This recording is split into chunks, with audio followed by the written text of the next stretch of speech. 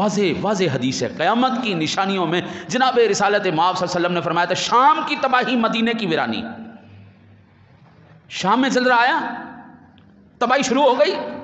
ओ अल्लाह के नेक बंदो, अब मदीना वीरान होने जा रहा है।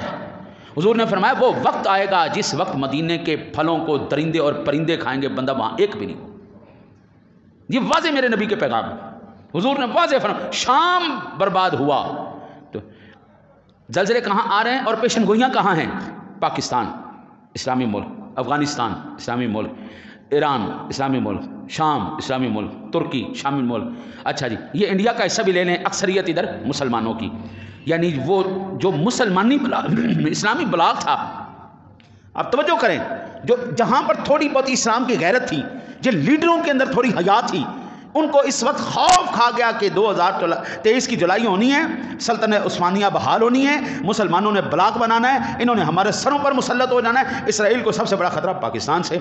इन तमाम जितनी भी ताकूती काफराना कुतों को है पाकिस्तान से, अफ़गानिस्तान से, शाम से, इराक से, तुर्की से, मिसर से। अब सऊदिया तो हो चुका है उनका, वो तो सारा हो चुका है। ये अगर इस्लामी ब्लाक बना किबला तो वो तो इनकी प्रक्षे उड़ा के रख देंगे। हमारे नौजवान के अंदर आज भी शर्म बाकी है, हया बाकी है, एहतराम बाकी है, अदब बाकी है। लेकिन अगर हमारा इलियट तबका अगर बेहया हुआ, बेशरम हुआ है तो वो अभी नीचे शर्म बाकी उनको उनको इस बात का खौफ है कि कहीं ये शर्म जो है हमें ले दे के ना बैठ जाए।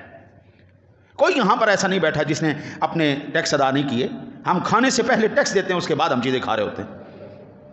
हम पहले टैक्स दे रहे होते हैं उसके बाद खा रहे होते हैं। लेकिन इनकी गाड़ियों से पकड़े और बड़ों तक ले जाए, मकानों तक ले जाए। कब्जे की ज़मीनें होंगी, गाड़ियाँ टैक्स नॉन पेड होंगी, हर चीज़ उन्होंने ये सारी चीज़ें लगा के थे साढ़े होते। और अवाम कुर्बानी दे। जालिम के बच्चों, तुम कुर्बानी किस दिन दोगे?